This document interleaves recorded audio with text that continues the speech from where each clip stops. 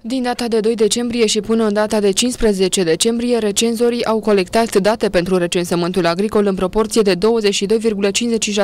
situând astfel județul Gorj pe locul 28 pe țară, în condițiile în care pe data de 8 decembrie ne situam pe locul 9 între județe. Cum comentați această situație? Am ajuns pe locul 28 la recensământul agricol.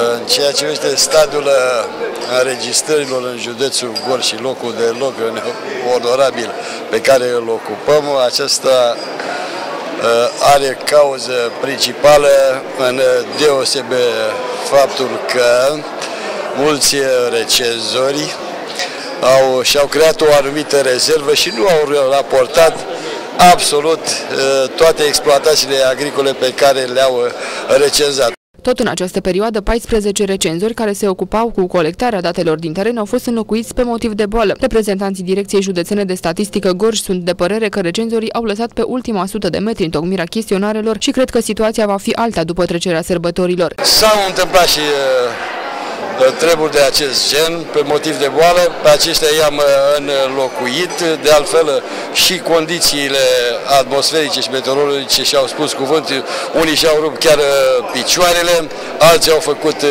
viroze. Fărcășești, Bolboș și Boroscu sunt localitățile unde s-au completat cele mai multe chestionare, iar la polul opus se află localitățile Crușeți, Glogova și Dragotești.